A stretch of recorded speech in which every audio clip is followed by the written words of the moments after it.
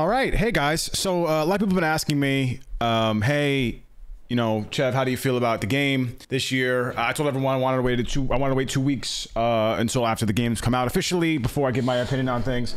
And it's been a little bit longer than that, I believe. So uh, I think it's time. And this is gonna be the good, the bad, and the ugly. And we're gonna start with the ugly, and then the bad, and then the good.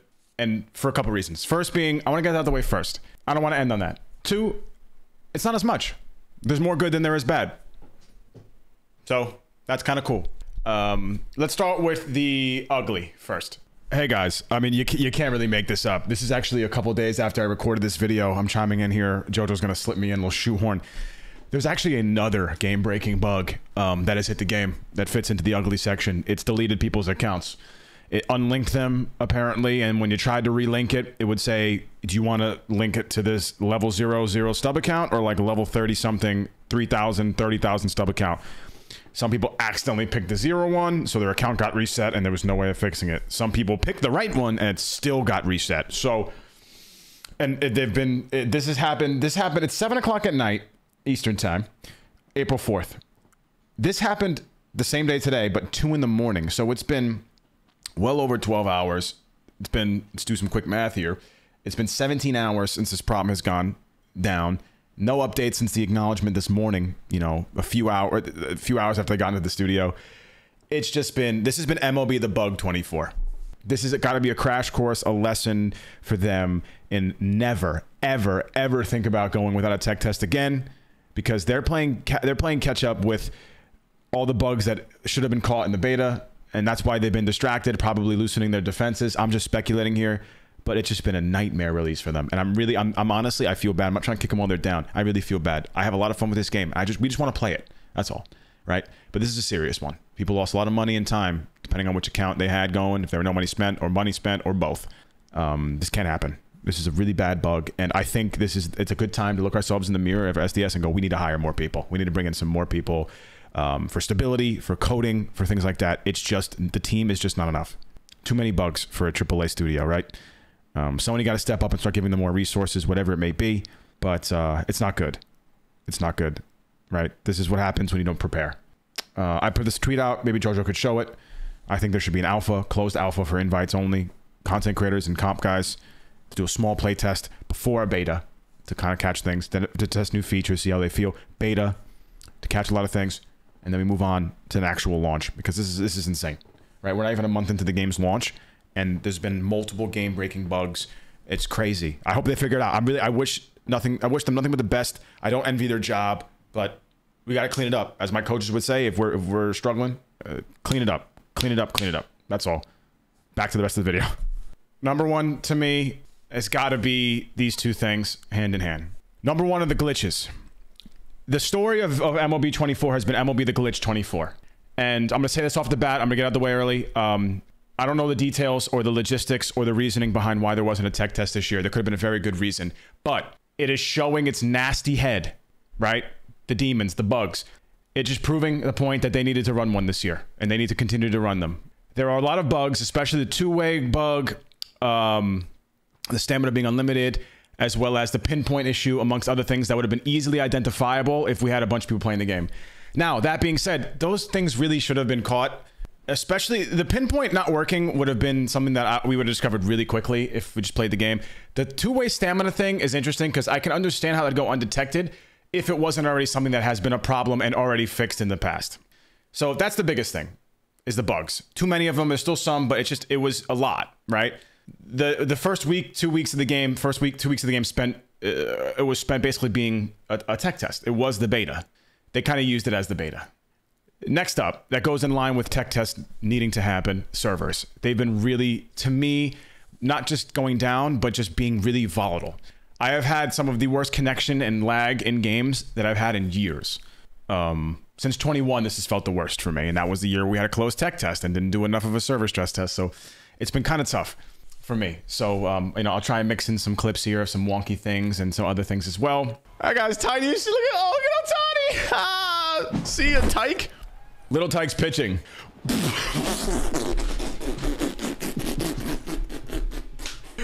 is not a show, hey, bro. This is Shuey.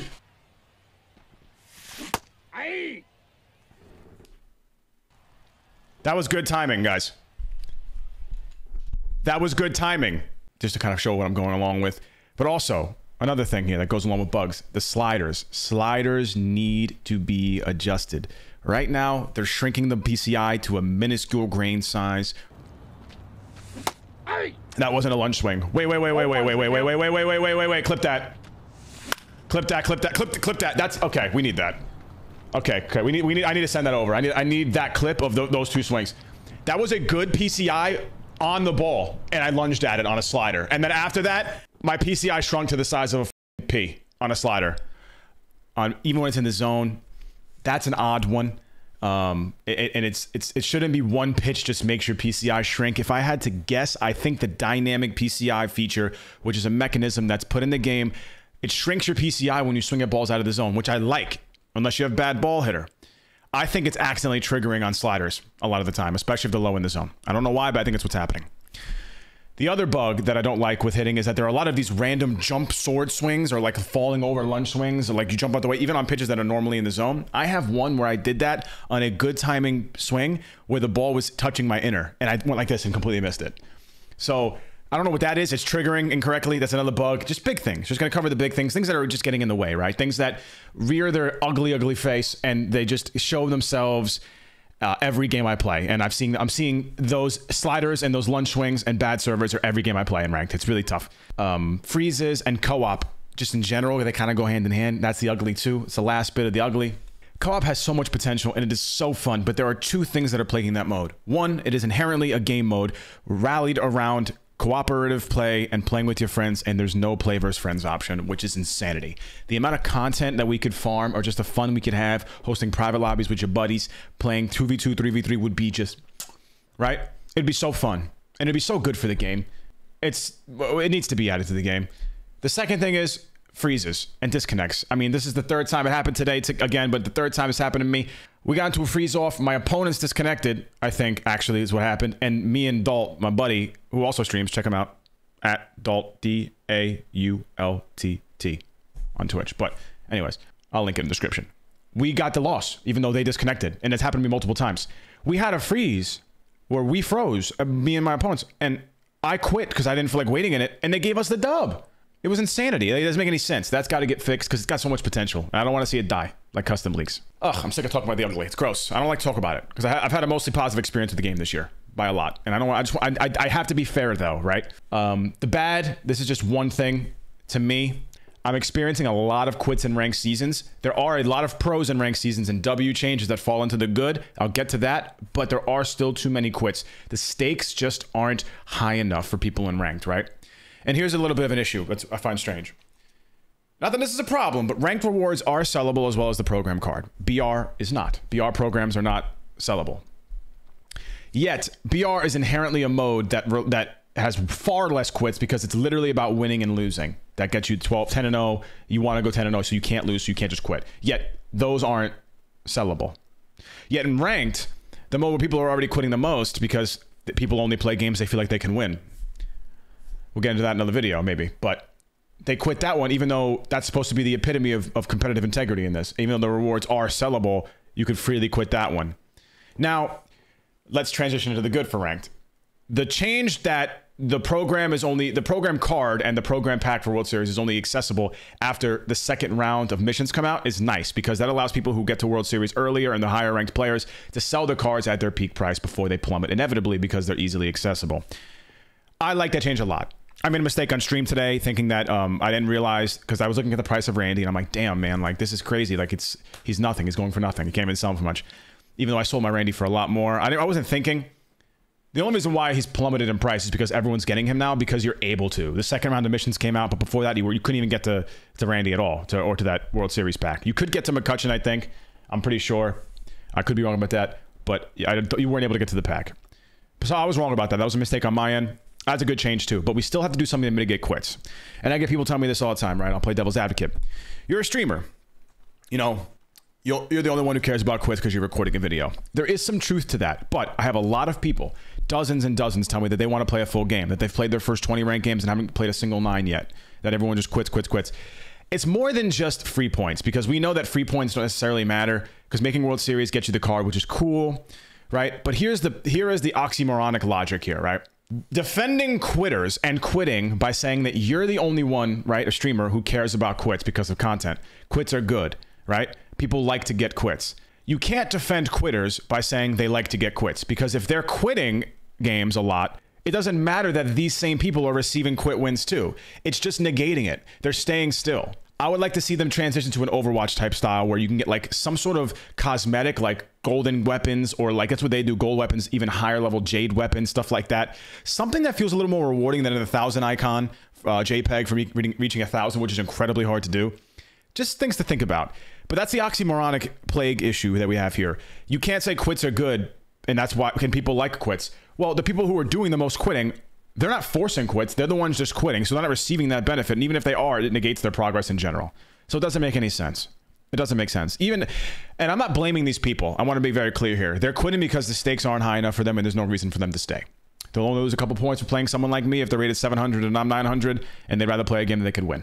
That's kind of uh, how it works. I'm blaming the system. It needs a little bit more tweaking. That's the last of the bad, though. We spent eight and a half minutes on this. I'm done with that. I don't want to. I don't want to talk about that anymore. We're on to the good. Uh, I talked about the rank system actually making a lot more sense now with having a second phase, second wave of missions that give us time to sell the World Series awards if we want to for peak price before we get them back at a lower price. It actually rewards people who are high skilled, who put the time and the effort, and they grind the World Series. It gives them a profit. I love that. W change. Thank you for that. Collections, let's go to collections. They don't feel too overpowering. Now, what I mean, other than Babe and Palmeiro and Pedro, they're going to be very nice, and we're going to see the value of Palmeiro and Pedro come new season resets when you have these guys to start the season. Um, when all the cards get reset, and it's hard to come by anyone who's 90 plus, and you have two 95s and a 99, Babe being the best bat in the game offensively on paper, and a top arm. It's good. Now on the season collections, it's very well paced so far. It is possible to get Rich Aurilia. I do not have Rich Aurilia right now, um, so that is something interesting to think about. I'm actually going to collect these guys. Hopefully that wasn't a bad move. I didn't pay attention. I think it might have been a mistake, but it's all right. Either way, it's really well paced and they're very helpful. Biggio was a bit of a miss because he has no secondaries. But either way, if you like Biggio, you can rock with him, and it's only 30 cards, so I think it's a pretty good reward. Franco is He's been so good for me so far. He's exactly what we needed because by the time I got him, I was in, he was my best lefty in the pen and my best reliever when I got him. Right, as someone who's gone five times flawless, finished collections already, it's it's nice to have him. There's been some other arms released since then, but he's still top top of the food chain. Not maybe not the best, but he's up there. Now, Rich Aurilia is really fun because it almost feels like this is something that is very, very well crafted. It's actually perfect. Shortstop is, is plaguing people right now in terms of like they just feel like it's not a great shortstop. Mookie's there, and oh, it's a me issue. I suck with Mookie. And but everyone, not everyone even has Mookie. If you don't have Mookie, it's tough to get a nice, well-rounded shortstop. Aurilia is going to fit that bill.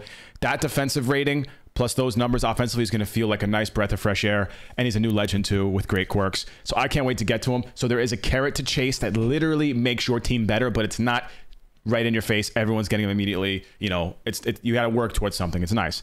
There's a lot before we get to the packs, but it should be that way. These guys are 99s. There's going to be steps in between. There's going to be absolutely one or two more cards minimum before we get to 280. So probably three actually.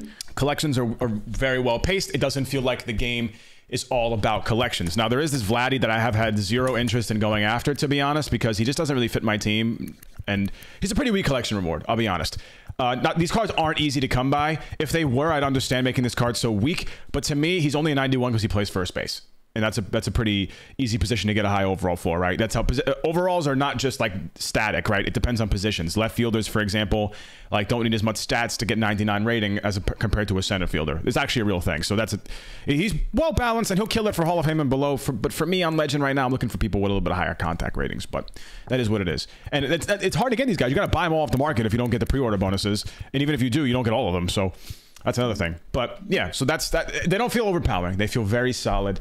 Uh, they feel like it's something that's nice to, to shoot for, but it's not the main point of the game. Last year, we kind of had a philosophical issue with 23. It was like the whole game was about collections and nothing else mattered. Ranked rewards, BR rewards, blah, blah, blah. It was all about collections, collections, collections, centered around offline play. It was quite boring. So that's nice change this year. Very, very cool. And then on to content again, uh, going you know back to the Easter egg program. This is a W program because there's a bunch of good cards and John Smoltz that can help your team, right? And I'm, I'm so happy that between the Spring Breakout program and the Easter egg program, we're back to getting to a, a series of content drops that actually you look forward to because they're going to improve your team. It is nice to see a content drop and go, I want this guy on my team. I want this guy on my team. And they literally make your team better. I bought one off the market for my team. I got one from the program. Uh, I bought one off the market as well, Ottavino. I got him for free. Bummer. And on my uh, Arenado team build, I have Johnny Bench playing left, kind of for memes, but he's also really solid on that team. So there's a lot here.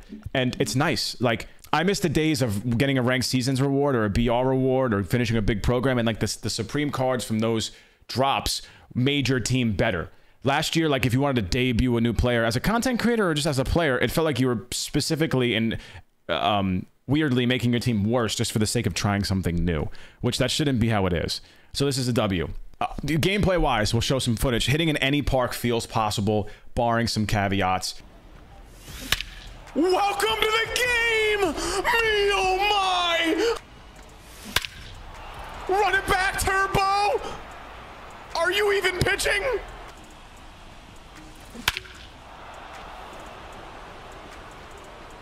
One ten. Oh, oh, my God! One over the green monster.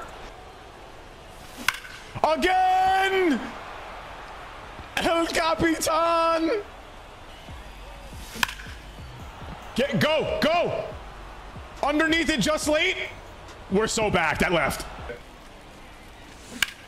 Harry Ford, the Brit, hitting so juiced. I'm so here for it too. For the most part, my journey all the way to legend, it, I could hit just about anywhere if I was hitting well. There are some weird moments. Obviously, sliders get in the way. There is a large dialogue going on, especially on Twitter and on social media about, you know, only you're only able to play at Shield Woods if you're a legend player, blah blah blah. And I got a couple thoughts on that it is increasingly hard for me to score and for other people consistently right now on Legend for a few reasons. There are some bugs. The sliders are a serious problem. PCIs are already tiny enough. You can't shrink them even further. And sometimes I've have clips of this. I got to find it if I can. A good swing slider in the inner, no contact. Clearly a bug. And that just can't happen. I've had instances where the PCI shrunk on pitches for whatever reason, and a 12 or a 13 PCI, which is really damn good, 15 being the best, a perfect, perfect, and it's just a pop up because it's something to do with PCI shrinking. But other than that, like if you square it up, it goes. Ultimately, do I think that you have to play at a high elevation park to score on Legend this year? No. We're just coming off of an entire year of using 99s since launch on Legend against inferior pitching with giant PCIs hitting bombs everywhere left and right. Our teams aren't good right now. We're getting pitching's outweighing right now in the power creep. It's just going to be that way, especially with inside edge right? Look at it. Look, 85. What, think about this. Last year, when did you ever use guys with 85 contact, 92, 94, 89, uh, 105 was it is and plus inside edge. This is one of the highest. Like 102 being really high right now. Piazza, like same deal. Cutchin, like he's a program board, 94 on one side. We had everybody who was 110 plus against pitchers with 100 to 110 hits per nine. So of course it feels that way. But the scores on Legend are supposed to be lower it's not like I'm squaring up perfects or goods and they're dying. They go. It's just harder to do that. This is just an isolated experience for me. I am struggling to score on Legend right now. I'm definitely playing worse. It's because it's supposed to be that way. It's a me issue. It's something fun to look forward to. You, I feel even better when I square up a ball now on Legend because it's harder to do that. And another point here that I want to make, right? This is important. People are telling me flukes are happening more often. No, they're not. Your outfield is worse. We had 99s last year from launch, max outfield everywhere, five tool players everywhere, uh, God, Jesus, and, and the Holy Spirit everywhere in the outfield. We have Acuna, who's one of the top players in the game right now, with 67 fielding and 62 reaction and only 84 speed for a guy who stole 70 bags. Trout, 93 speed, but 71 reaction, only 83 fielding with a 79 arm. Bernie Williams, who is a collection award for one of the best teams in the game, live series in the secondary 79 speed, 76 reaction, 81 fielding. That's Luis Gonzalez numbers in left field. 99 overall Luis Gonzalez type numbers, man. We didn't play Roberto Clemente last year in the outfield because he was too slow. With max everything in like 78 speed or something. So why on earth would 81, 84, 76, 79 feel great? It's not going to. That's why flukes feel like they're happening more. We have slower infielders. They're not getting to the ball. I'm not chastising people. I just want everyone to realize that we don't have to press the panic button yet. I know it seems like it's a, you know something I want to keep in mind, like or, or, at the forefront of the conversation because it's part of my job and I want to keep the, the, the ship from sinking and it's good for business if people are happy. I'm not trying to do any of that. I'm just being honest. I really try and analyze things before I criticize them or make opinions on these things because form opinions because I just don't want to be jumping the gun here. We have a long year, man. And if we just say shit sucks and we don't really explain why or what we mean, it's going to be bad. Other than that, hitting in every park's possible. I've put up double digits at pro stadiums. They feel smoother across the board. If we iron out the server problems, it's feeling great. It's definitely smoother. I, when the game was down the other day, because of the bugs where everyone had small heads or, or, big heads and tiny bodies. I played 23 to kill time. It is so much smoother 24. It's actually night and day. The bit rate is just cleaner. It's crispier. It doesn't. There's not as much lag with the fans. It's nice, man. It's great. I love that this year. I really do. And I think the last point here I want to end with here is something that maybe we haven't even thought about, but something that I've been thinking about the last couple days. Hitter variety type just may be back with power creep. I think if we get a 93 overall, like headliner Tony Gwynn, with really high contacts, vision, good fielding speed, and even like just okay power ratings, like 50, 60 max, he is going to have a place on people's team. Honus Wagner specifically is someone to look out for, right? A really good fielding shortstop with great contacts, and he's just lacking a little bit of power. But the way the ball's carrying this year, right? And some little quirks and a good swing, he might be invaluable to your team. PCI size is in, very important, especially for legend players. Something to keep out, uh, you know, keep in mind while we're playing. So that's it for me for all the, the good, the bad, and the ugly. Way more good than anything else. We have hitter variety. He could hit any single park. It feels great. Yeah, you upgrade your team with almost every single content update. You know, it's, it's only been really one big one so far, other than the launch stuff. But I'm noticing the trends, right? I'm seeing these things. Collections don't feel overpowering, so there's a reason to play ranked in BR and events. Ranked system actually is intuitive and rewards people for pushing towards the top. I like where we're at, and I'm not ready to push the panic button, guys. So let me know how you feel. Doesn't wait. By the way, doesn't mean you can't get frustrated. I get frustrated too. I get it. I still do. I'm very competitive. Sometimes this shit makes my anxiety flare up. I'm gonna be honest because I get annoyed. But let's be patient. Let's try and think things through. I'll be better too. I love y'all, man. Let me know what you guys think in the comments. If you agree, disagree, or if you have different thoughts. See you guys next time. Peace.